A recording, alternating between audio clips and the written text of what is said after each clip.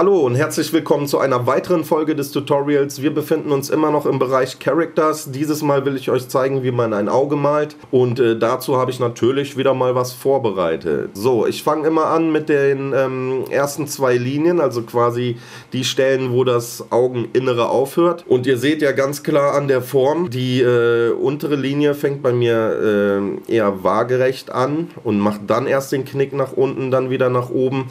Die obere Linie, die geht direkt hoch ne, und macht dann den Knick runter. Und ähm, ist so eine Angewohnheit, dass die obere Linie von mir rechts dann immer wieder so ein bisschen hoch geht.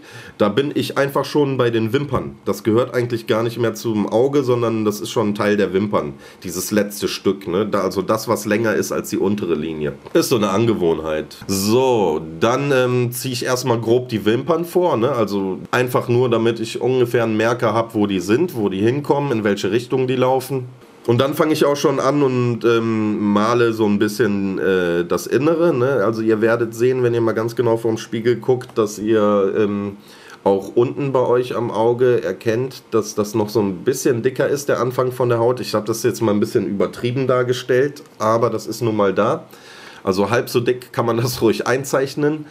Und ähm, ja, dann fange ich mit der Pupille an. Dort äh, mache ich erstmal den inneren Kreis. Den ziehe ich erstmal und lasse da drin wieder einen halben weiteren Kreis weiß. Fülle das erstmal aus. So, dann äh, male ich die äußeren Enden der Pupille, damit ich erstmal so die grobe Form von der Pupille habe. Und ähm, die ziehe ich auf keinen Fall bis nach unten, weil ich mir immer denke, unten kann man einen schönen Lichteffekt äh, einbauen. Das werdet ihr auch gleich beim äh, Schattieren sehen. Und deswegen ist die Linie oben dunkler und wird nach unten hin heller. So, dann gehe ich erstmal hin und mache so schraffomäßig grob die Struktur. Dort lasse ich auch wieder diesen weißen Punkt frei, weil das soll wirklich so ein Lichtreflex sein. Und dann gehe ich nach und mache das Ganze nochmal dunkler und dunkler und dunkler, immer nach oben hin dunkler. Und dann schattiere ich einfach auch nochmal von oben ein bisschen durch. Und so kommt schon dieser Pupilleneffekt zustande.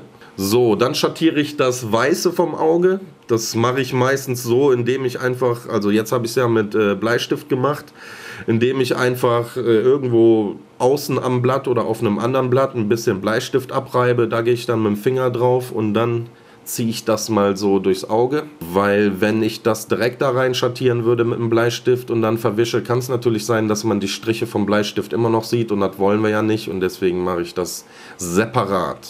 So, dann lege ich noch ein paar Linien drumrum. Da müsst ihr halt auch gucken, wie ihr es machen wollt. Jedes Auge sieht ja anders aus.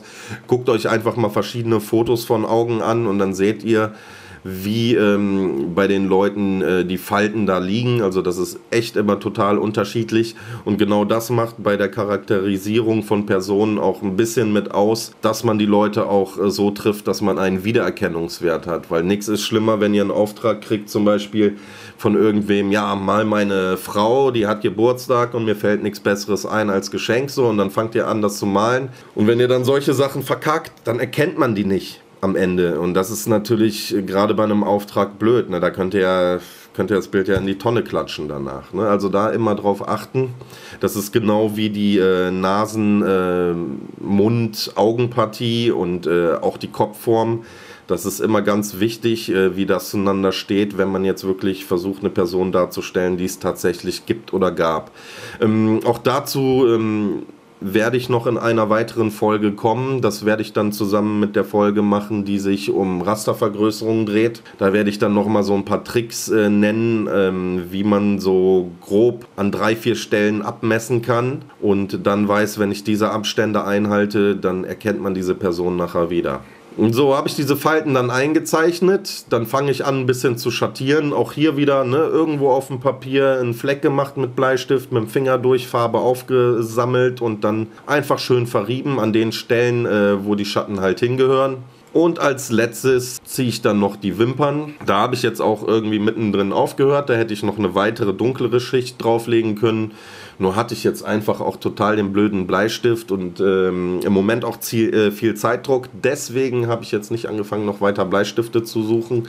Ich habe das dann am Ende an der Software ein bisschen dunkler gemacht. Da sind leider die äh, Augenbrauen nicht so mitgegangen, wie ich mir das vorgestellt habe. Aber auf jeden Fall äh, ist das erstmal schon mal, denke ich, ein guter Weg, um Augen zu zeichnen. Ihr könnt das ja mal ausprobieren, könnt mir euer Feedback geben. Vielleicht habt ihr da andere Techniken oder andere Möglichkeiten, wie man es äh, machen kann. Ähm, würde mich sehr interessieren. Schreibt es einfach in die Kommis.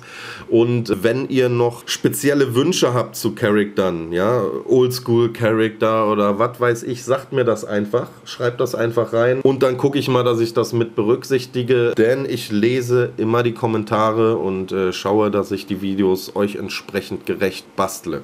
Ne? Also alle Wünsche rein und wir sehen uns beim nächsten Mal. Euer One. Peace.